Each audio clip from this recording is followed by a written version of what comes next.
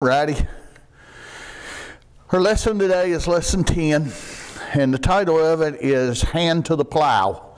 And uh, uh, if you're a farmer, well, you kind of kind of already know what it's talking about here, but you know, it's um, Jesus was good at laying out things, whether you were a farmer or whether you were a fisherman or whether you were a merchant, or there were several different things that Jesus used in describing what the Christian walk is like, and it pretty much hits just about any somewhere in the Bible. It hits pertinent just about any profession that you have.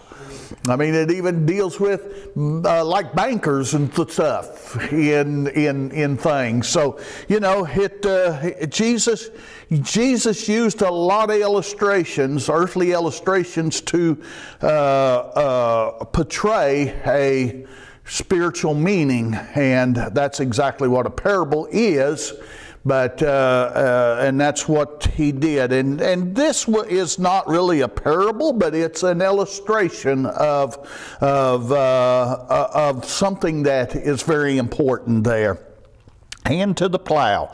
Our memory verse is Mark 13, 13. And ye shall be hated of all men for my name's sake, for he that shall endure unto the end, the same shall be saved. Uh, I'm going to read a junior emphasis. We must hold true to Jesus to the end of our life. Let that sink in. We must hold true to Jesus to the end of our life. You know, it, it doesn't matter where we get started, so to speak. Now, however, the best thing to do is get started as soon as possible because you will avoid a lot of uh, scars and a lot of troubles if you get started as soon as possible. But, okay, say a person's in their middle age or later in life and they get started, that is great. But they're probably going to be suffering some scars, and so it's best get started as early and hang on and hang on to the end. That's almost everybody's intentions when they when they get saved. That's their intentions, hang on to the end. Well, that's our intentions to hang on to the end. Let's hold true to that, hanging on to the end. That's what's most important. It doesn't make any difference how you start out, it's how you end. But like I say, the best thing to do is get started as early as possible. If we have in us the things of God, we cannot be shaken loose from Him. So, sounds like we need to get established in the things of God and hang on to those things because everything else is going to be shaken, it says. We do not need to fall into sin. That's one thing we don't have to do. We must keep pressing on toward heaven. Many people start to serve the Lord. Not so many, though, continue, is the bad thing about it.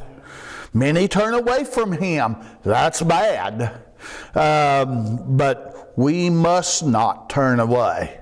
That's, that's, that's what we need to keep in the forefront of our mind at all time not to turn away from God. Those who those who do those okay, we must not turn away. Those who do cannot go to heaven.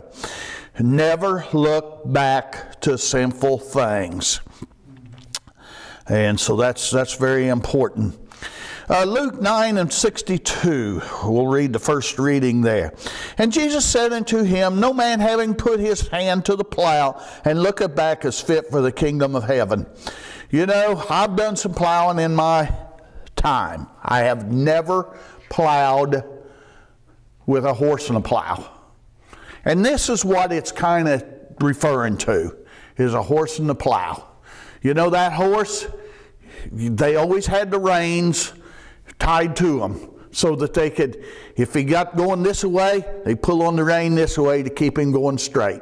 If he got going this way, but they set their eye on a object across the field at the other end of the field they set their eye on that and shot for that that object well we set an eye on heaven and we're shooting for heaven is what we're shooting for uh, to, to go and you know we want just as straight a path as we can go we don't want to veer off this way, veer off this way.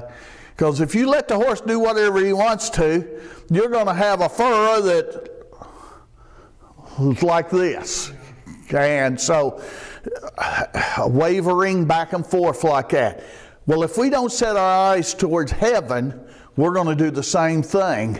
And you leave it long enough, and instead of just wavering back and forth, it's just going to go like that and we're going to be lost forever. And so it's very important that we set our eye on the goal that we have and keep our eye on that goal and not let it let it turn. No man having put his hand to the plow, starting a plow a fur across the field, and looking back, wishing to be back where he was before. Let's don't look and see where we've been Let's look to see where we're going. You know, you see a lot of people when they're walking, while they'll turn around and they'll look. And of course, uh, it's kind of a joke with the wife and I. Well, look, he's looking back to see where he's been. He's not looking where he's going, or, you know. But you know, we need to set our eyes on where we're going and set, fix our eyes on Christ. If we're turning around and Christ keeps going, we may not be able to keep, we may lose ground between Christ and us. And the further we are, the more lukewarm we become. And so it's very important that we keep our eyes fixed on Jesus and stay as close to Him as we can. Looking back, wishing to be back where he was before. Such a man will never finish the furrow.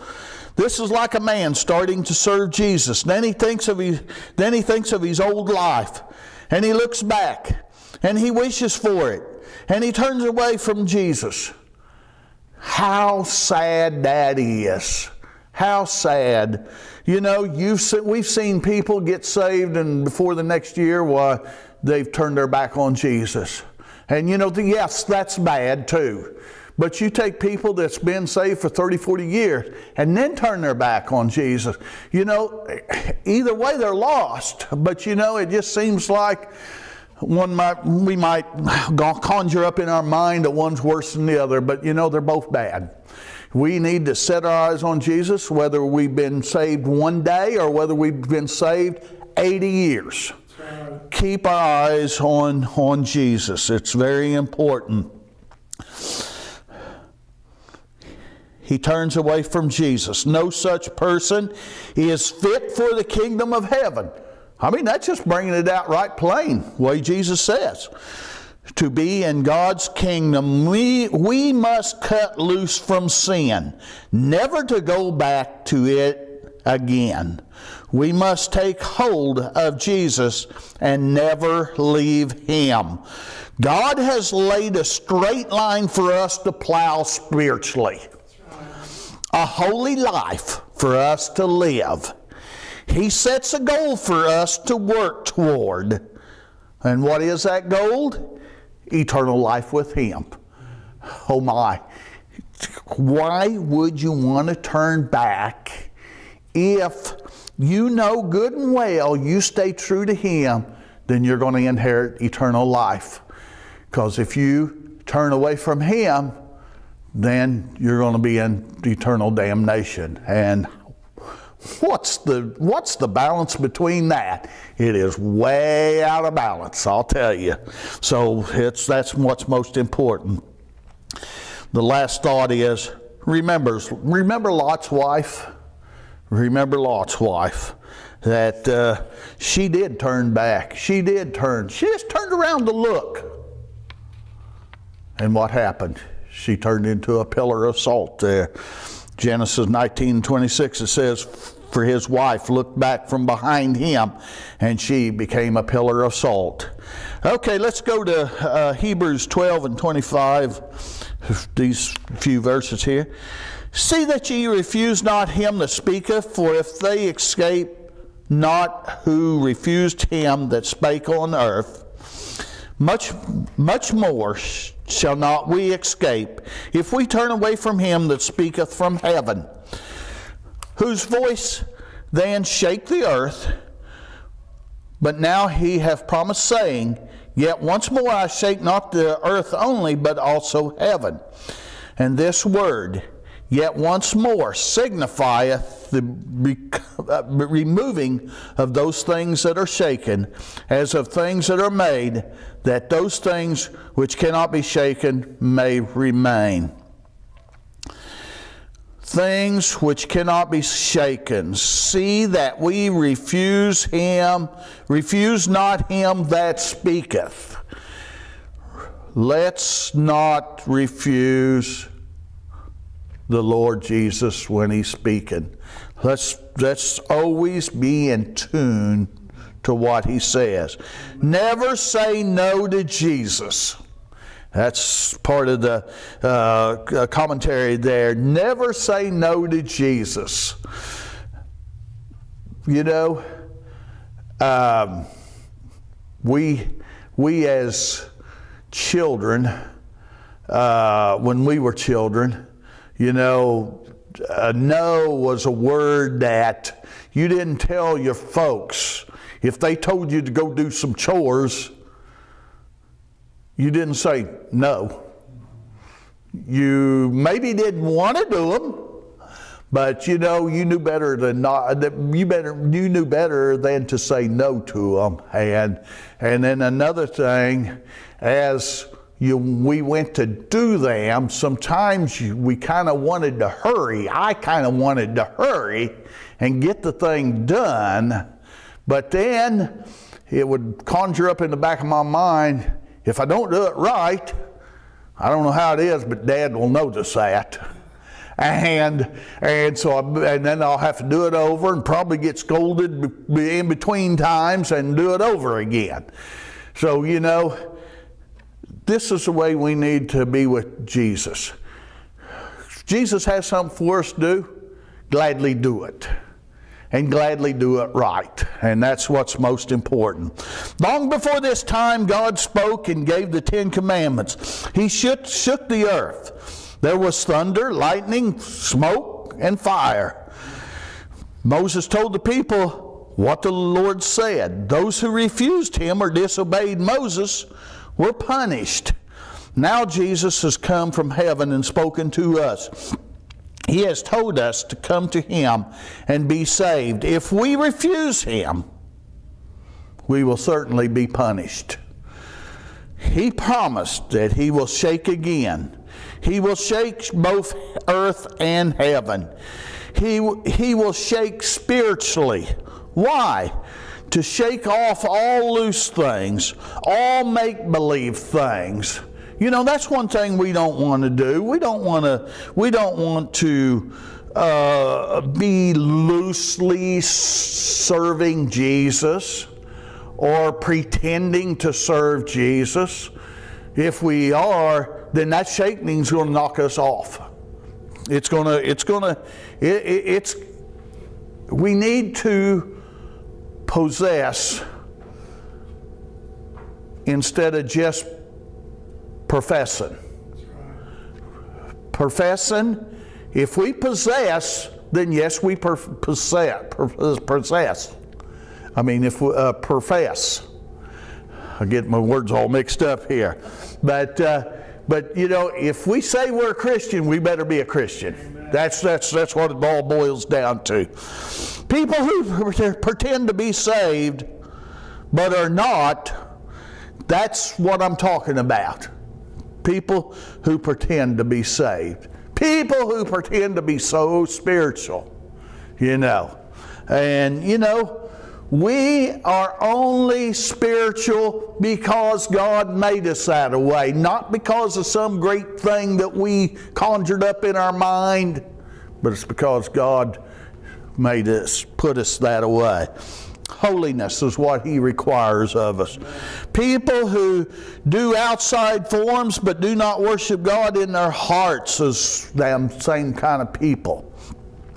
People who follow men but not God. Same kind of people. Them's the people that's going to be shaken off there. These will be shaken off. Things which cannot be shaken will remain. What things? The commentator asks us, what things? Well, let's go to let's go to Hebrews 12 and 28 then.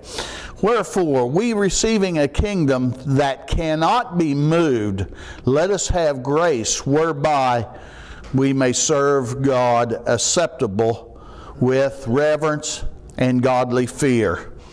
And then the next verse is for God for our God is a consuming fire. Things what things? I left you with that. What things?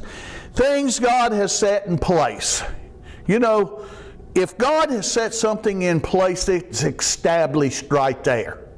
It's more solid than the rock of Gibraltar. You know, you know you've, you've heard that, that expression.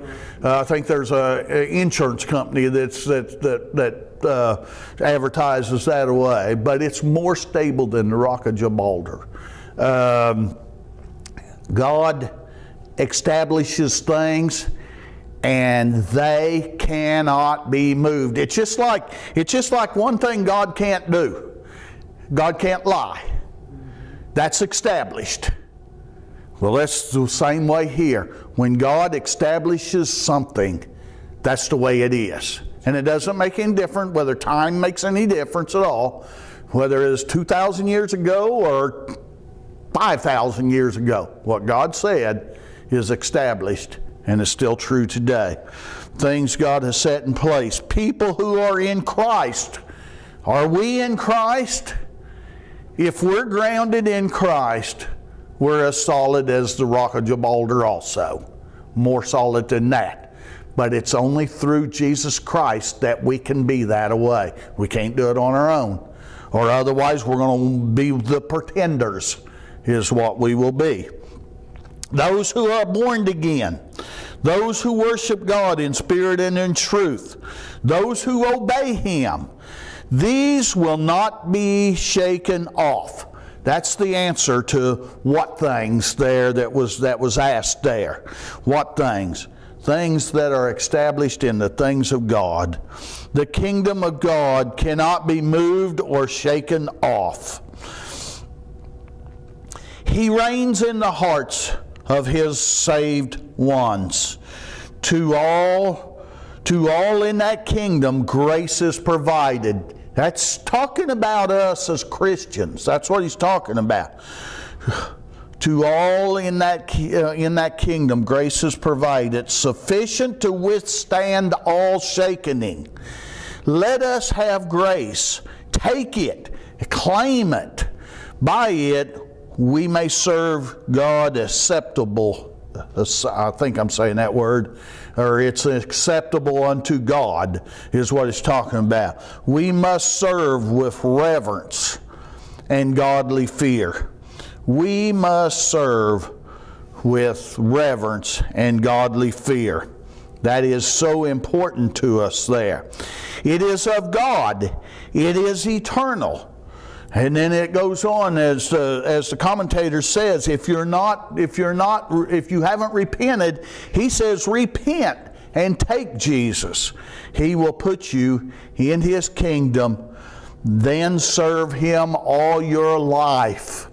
You will be established in the things that God wants us to be established in.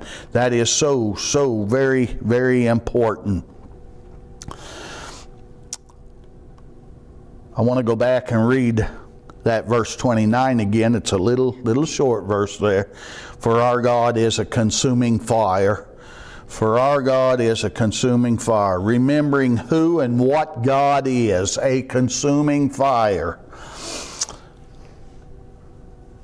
The man who does not labor to serve God in the way prescribed will find that fire to consume him which would otherwise have consumed his sin. That's an Adam Clarke statement. It's the it's commentary in your in your quarterly there, and I thought that was very good. That very fire that consumes you could have consumed your sin, is what he's saying there. Wouldn't you rather that it consumed the sin and not you?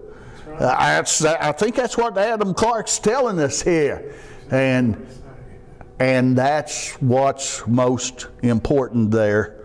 That it consumes um, the sin and not not us there. Let's go to verse uh, verse 13 here. Well, um, one more thing. I was looking for that there. You know, the, the consuming fire. The fire consumed the sin rather than you. Let's look at the three Hebrew children. They were established in God. They had their minds made up that they wasn't going to do what the king had said because it went against God's law. They knew what the consequences was going to be. They were going to wind up in the fire, in a literal fire. And you know, they told the king, they says, well, have it known that we're not going to worship this idol that you've put up. And if God God's able to deliver us from the fire, that's up to him. But we're ready to march into the fire no matter what. We're going to we we are going to stand firm for Jesus. And that's the way we have to be. The same way we have to stand firm. What happened? They walked in, they was shoved into the fire. They probably probably pushed into the fire. What happened? They were established. And when they came out, I'm kind of jumping ahead, but when they came out, not a hair on their head was singed. Their clothes were still intact. They didn't even have the smell of smoke on them. What happened to the, the, to the ones that were shaken off? They lost their lives. So it was a real, it, that goes to prove you it was a real fire. And see, that's, that's a good example of what Adam Clarke was talking about here is the ones that shoved them in there, they wound up dying. We don't know how many there was that died, but they, it says that there, there were some of them that perished because of it. But the three Hebrew children, because they stood for what God wanted them to stand for, they survived. And God was in their presence at the same time. And so it was it's very important. You know, that's an encouragement to us to stand no matter what. All right, now we'll go to 1 Corinthians 10 and 13. There hath no temptation taken you, but such is common to man. But God is faithful, who, who will not suffer you to be tempted above that ye are able, but will with the temptation also make a way escape, that ye may be able to bear it. You know, that's a good verse right there to memorize. When we're in a stress, stress, stressful or a um, um, temptation or even a concern or a, um, uh, a downtime, this is a good, good, good uh, uh, verse here to, to go back to because that, to me, that's a promise. That's a promise that God will not put more than what we can take. Amen. Now, we can't do it on our own. We have to have God, we have to have the Holy Spirit leading us and us following God to be able to do it. But we can do it because He says we can do it through His grace. And that's what's so important. If we will only just think that whatever temptation comes on us, we can get through it. whatever discouragement. I think discouragement's included in this because it can wind up to be a temptation. But discouragement and trials and, and, and all of that, God does not put, put too much on us. Job had a trial and temptation and discouragement and who was for who who who was on his side? His wife. No she wasn't on his side. I think he had three friends so-called friends. They wasn't even on his side you know. He went through it on his own but he knew he knew that he had his mind set on that gold and that's exactly what we need to. You know, his wife said, Well, why don't you just get out of it, curse God, and die? And you'll be out, you'll be done with it, you know. Job didn't, didn't see it that way. He says, Maybe I don't know where God is, but God knows where I am. And I think he could have written this scripture right here that there's no temptation. After he went through that temptation, and he, he believed that, that there was no temptation too great but what God would lead him through it. And, you know, because it, it, it works out that way. It just, it, that's, that's what, that's the way he lived. That's, that's, that's what he wanted. And God helped him through it. And when it was all over with, look what God blessed him then with. We do not need to fall. Does someone think, I would like to hold true to Jesus, but I can't? I cannot keep from sinning. Is that true? Or is the devil lying to you? That's what it is. The devil is lying to you. Don't believe a liar. He's been a liar from the very start. Don't follow after a liar, follow after the truth. There hath no temptation taken you, but such as is common to men. Man. Other people have had the same temptations. You know, a temptation that you go through, there's probably been already somebody that's went through that temptation. You know, we think, well, you know, it may be a, an earthly person. It might, it might be a person that that is a godly person that went through the same temptation, went through it, may, flying colors, so to speak, and may not even be in this world anymore, but went through that temptation. And, you know, maybe maybe that person is still alive and you can talk to them about it. But if you go through a temptation that you can't find nobody's went through, you know Jesus went through it. And you know, if we keep our eyes on Jesus, He's already went through that temptation. He knows where the uh, uh, tr- uh, the trip wires and the downfalls and and uh, trips are all at. He knows where they're at, and He can lead us through. We that's that's our main concern is to keep our eyes on Jesus there. There hath no temptation taken you, but such is common to man. Other people have had have the same temptations. God will not suffer you to be tempted above that ye are able. He will not let a temptation be too strong for you. And that, that does not mean on your own, but that is with the Spirit of God leading us. He will, with the temptation, make a way excuse, escape. Not excuse, but escape. You never have to sin. That's the answer to that question up there. You know, some people says, "Well, I can't, I can't, I can't go through this world without sinning." Well, that's only the devil talking. Now Jesus is talking here, and he says, "You never have to sin." There is always a way to do right. Look for it, it is there. If sin has you bound, rebuke the devil and go to Jesus. Repent, and Jesus will set you free.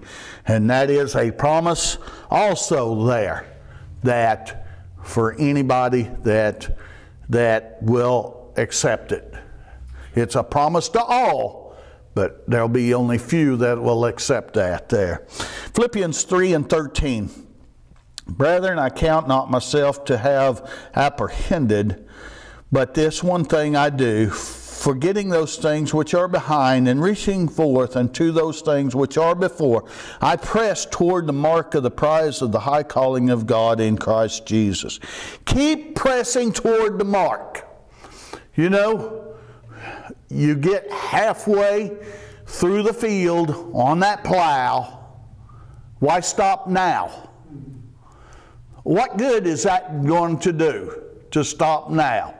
Well, that's the same way the Christian life is. Keep going, keep going. I ain't gonna, I ain't gonna say it's gonna get better, but I know that at the end it is better. I know I did not use right, uh, proper grammar, but I want to make a point. Don't give up. It does not work. Paul had not apprehended all yet. He could learn more. You mean Paul could learn more? That man had so much knowledge and so much uh, bringing up and knowing so much about things, but yet he says he didn't have all knowledge. He could still learn. Well, I've got a long ways to go then because I know I don't know as much as Paul does. But you know, we know what we know, and that's what God is going to judge us by. That's what Jesus is going to judge us by, by what we know. But you know, every opportunity we have to know something, then we need to grasp hold of that. I know there's I know there's other Christians that has a whole lot more knowledge than I do into Christian things. But you know, my eye is set on that, what God has for us to, uh, to, to learn, has for us to know, has for us to the reward. God, and that's what we're striving for. And as we go, we learn. And you know, I love, I love when things I haven't thought of or haven't uh, realized, and when that light flashes on, hey, that's, that's something I can grab a hold of. That's something that I can live by. And a lot of times during the week, I need that very thing sometimes. And so God's faithful to us. God will allow us to know what we need to know at the time that we need to know it. Paul could learn more. He could do better. He could grow in grace. He wanted to. He was reaching forth unto these. And you know that's the same way we are. We can do we can learn more. We can do better. We can grow in grace. We want more. We want more. And that's that's like Paul was, like the like the commentator said here, we can reach forth unto these. But he forgot those things which were behind. He did not wish to go back to his old life. Not a one time did Paul say that he wished he was back persecuting the church after he got saved. After he got saved, not one time. He was the one being persecuted, and he still didn't turn back and say, that he wished he was on the other end. Because why? He had his eyes set on that prize out there. I pressed toward the prize, mark for the prize. The prize was the high calling of God in Christ Jesus. Leave all that stuff behind and press towards the high calling. God called him to be holy. God calls us to be holy, to be like Jesus. He, he, he called Paul to be like Jesus. He also calls us to be like Jesus, to go to heaven. Paul wanted this. What about us? Do we want it? How hard are we pressing towards that? Paul wanted it, he pressed on. He did not turn back we must press on too. never look back to sin. let's look at our memory verse now. And if we shall be hated of all men, and ye shall be hated of all men for my name's sake, but he that starts out well, the same shall be saved. I see some eyes are looking kind of funny at me here. I read it wrong. But he that shall endure unto the end, not starts out well, but endures to the end, the same shall be saved. I read that purposely wrong just to kind of catch your eyes and see what happens here. It's not how you start out, like I said at the first there. This is our memory verse. I'm going to reread it and read it correctly this time. And ye shall be hated of all men for my name's sake, but he that shall endure unto the end, the same shall be saved. The church of God and the people of the world are on opposite sides, different, different spirits uh, they, they serve different masters. Therefore, the world hates the church as it hates Christ. For my name's sake, he says, because we are his. We have taken the name of Christ on us. We have taken the name of God, the church of God. We've taken that name. And you know, we have to be worthy of that name. We have to be in obedience to that name, or otherwise we're, we're not the church of God. We're church of whatever, of something else. And, uh, and that's what he's talking about. We need to be what God wants us to be, or otherwise we're going to be shaken off. And that shaking is going to be a it's a, it's a rather sharp uh, shakening too. And we need to be established in Jesus Christ, or otherwise we will be shaken off and lost forever. He that shall endure, remain true to Jesus, continue until the end of, of the life of faith and obedience, he shall be saved, receive the final phase of salvation, the resurrection of the body in an incorruptible state, entrance to heaven, and a crown of life. That's what we're striving for. But you know, we have to work. We have to keep our eyes on Jesus. We have to keep in tune with Jesus. We have to uh, stay in love with Jesus. We, you know, I mean, we, we all we need to do is follow Him like He tells us to. No promise of this is ever given to one who begins to live for Christ and then turns back into sin, like I read the verse the first time. It is for those only whom death finds abiding in Christ, who endure unto the end, the same shall be saved. All right, I want to I want to read a little little summary here.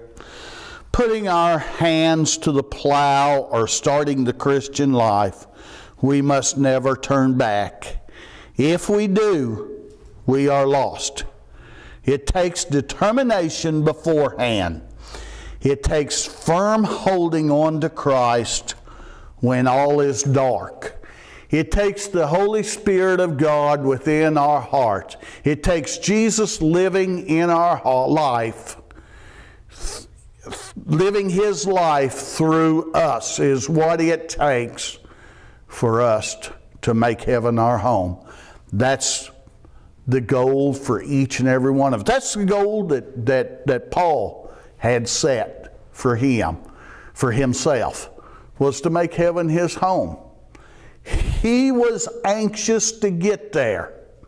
He was ready to get there. And he did everything he could to strive for that crown of life. Let's make Paul our example. Let's follow after the example of Paul. You know, for Paul said, Follow me as I follow Christ. But you know, if I go astray, why don't you still follow Christ? well, Paul made it. I feel that Paul made it. So we we now can can follow follow the way Paul followed. Don't follow Paul, but follow the way he followed and follow Christ. And I I know that that we can receive that crown also. I'll leave it with you. Amen.